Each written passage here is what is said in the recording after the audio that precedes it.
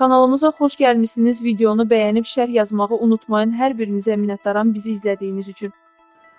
Sentyabrın 24-ü saat 17:35-də Azərbaycan ordusuna məxsus KAMAZ markalı hərbi nəqliyyat vasitəsi minaya düşüb.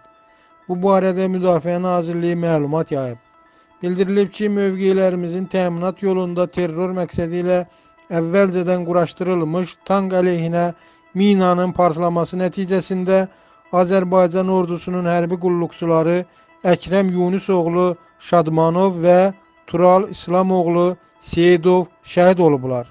Digər hərbi qulluqçumuz Elvin Talihoğlu Əliyev isə müxtəlif dərəcəli bədən xəsarətləri alaraq yaralanıb.